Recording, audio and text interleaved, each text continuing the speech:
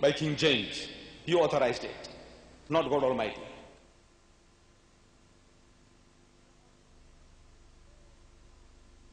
There are some 24,000 manuscripts of the Word of God, of the New Testament alone, I should say, that dates back before 350 AD. The original statement or signature or autograph of the Word of God does not exist. As I mentioned, the first one was printed on vellum or or clay tablets some 3,500 years ago. They perished from overuse and from being put on material that had little lasting quality, at least not that long. But at any rate, some 24,000 copies have been made. And scholarship tells us when it concerns the ancient books of antiquity, if at least 10 copies are in existence, you don't have to have the original to guarantee the original. And when one considers that there are 24,000 copies, and there are some variants in those copies, we admit. But basically, the text is not changed. They boast about 24,000 manuscripts. Brother Swaggart, you know no two are identical. Your scholars say out of the 24,000 that you're boasting about, no two are identical. Then how do you come to know that this is the word of God and this is not out of the 24,000? On the very face of it, when you open the book, the Injil and the Torah you're talking about, it says Mark, um, Matthew begins, in your version, the King James Version, it says, the gospel according to St. Matthew, the gospel according to St. Mark, the gospel according to St. Luke, the gospel according to St. John. I'm asking, what is this according, according, according? What is this according to? Why according to? I have got Brother Swaggart's book. It says homosexuality, its cause and its cure by Jimmy Swaggart or just Jimmy Swaggart. It doesn't say according to Jimmy Swaggart. Why this in the book of God? According to, according to, according to, according to. You know why? Because Matthew didn't sign his name, Luke didn't sign his name, John didn't sign, Mark didn't sign his name, John didn't sign his name. These are assumed anonymous books. Anonymous books. Attributed to God.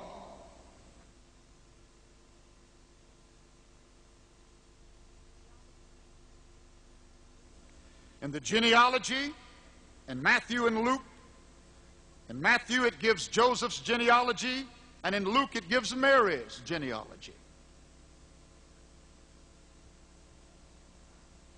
In the, the, the temple in Jerusalem, if there had been anything wrong with, I'm running out of time. If there had been anything wrong with the genealogy of Christ, they would have pointed it out immediately, but they did not. The genealogy between Matthew and Luke, we are given 66 fathers and grandfathers to Jesus. In a genealogy of 66 fathers and grandfathers, except for one name, no two names are identical. Separate list, everyone is a different name. Brother Swaggart says one is the genealogy of Mary and one of Jesus. I say, why of Mary? Does the book say that? No. The book says this is the genealogy of Jesus Christ. The other one ends with Jesus Christ. There's no Mary inside. 66 names, no two are alike except one. And the father of Jesus Christ, allegedly, God Almighty, he is not there. Can you imagine? God Almighty dictating the genealogy of his son in inverted commas. And yet he leaves himself out. He's going out of his way to dictate two genealogies with 66 names and he's not in it. He's not there. I'm asking, what is he trying to tell you? What is he really trying to tell you? When his name is not there. A man who had no genealogy, we believe. No genealogy. He was born miraculously, without any male intervention. You give him 66 fathers and grandfathers, and you say, this is God Almighty dictated. Says, we Muslims, Brother Swaggart, we take strong exception to this type of handling of this mighty messenger of God. The Judah, the father of the Jewish race, from whom we get the word Judah, from whom we get the word Judaism, that he had prohibited with his daughter-in-law by the roadside while he was on his way to Timnah. He sees this woman sitting by the wayside. And you know, he goes up to her and says, Allow me to come in unto thee. She said, What will thou give me? And he said, I'll give you a kid from the flock.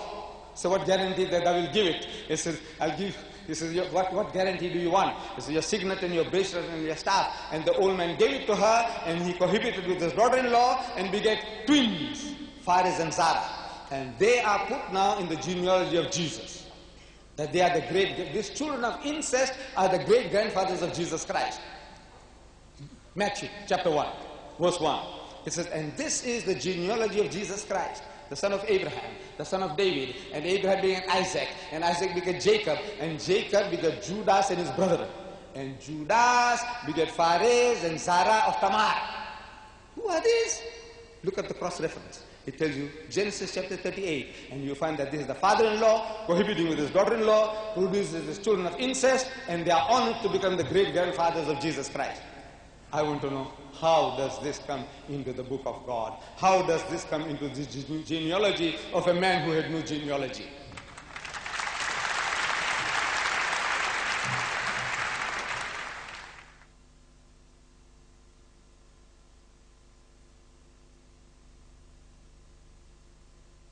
Unique in his ascension.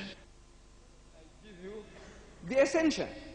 Brother Swaggart quotes in his book, Mark chapter 16, verse 16. Another place, Mark chapter 16, verse 19. I say, it's not in my Bible. I didn't print this. The Jews didn't print it. The Hindus didn't print it. You Christians, you produced this book. And you are telling me that this is the most up-to-date Bible, going to the most ancient manuscripts. So I look up for Mark chapter 16. I see it ends at verse 8. 9 to 20 is missing. Did I take it out? The Muslims took it out? No. 32 scholars of the highest eminence, backed by 50 cooperating denominations, they thought it fit that this is another fabrication imposed upon Christendom. And they also threw it out. It's not in my Bible. Therefore, it is not the Word of God. If this is the Word of God, then that is not the Word of God. But I pick up another Bible. Look at this. Look at these two. Brother Swaggart, identical. Look at that. I see back again. It's inside. What was thrown out? The ascension. There are only two places in, in the Gospels. In the Gospel of Matthew, Mark, Luke, and John, there are only two places where ascension is mentioned. Mark chapter 16, verse 19. Luke chapter 24, verse 51. Thrown out of this version. Thrown out as fabrication. Ascension.